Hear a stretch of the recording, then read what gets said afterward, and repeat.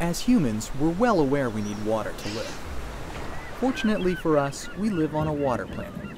But that doesn't mean we have an entire globe of H2O to use as we please. So just how does the usable water break down for us? A giant 97% of Earth's water is in the ocean, so we can't use that. 3% is fresh water, but even in that small sliver, about 2% is locked in glaciers, ice caps, and groundwater. That leaves about 1% of the fresh water on Earth that is accessible and usable by humans. Let's imagine all of that accessible fresh water fits into this tiny pool. Now we'll get to some small numbers when we look at global freshwater.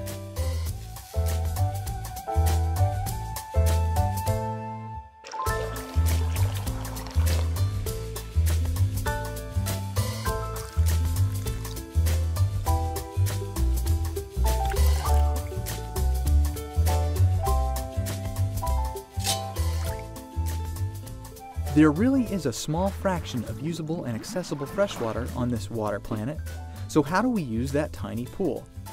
In the United States, about 49% is used in thermoelectric power production, while agricultural irrigation makes up about 31%.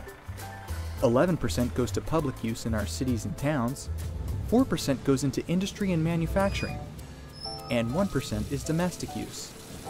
The water coming out of our faucets largely comes from precipitation. Measuring how much or how little precipitation falls can impact how we live our daily lives. Elsewhere around the globe, in developing countries, agricultural irrigation accounts for about 70% of freshwater use, while industrial use is 20% and 10% for public consumption. In places where access to usable freshwater is greatly limited, knowing when and where precipitation may fall is critical to livelihoods. Precipitation replenishes these tiny reservoirs of fresh water, and data from the Global Precipitation Measurement Mission will help farmers, ranchers, and policymakers in these regions plan for periods of drought, flooding, and other extreme weather.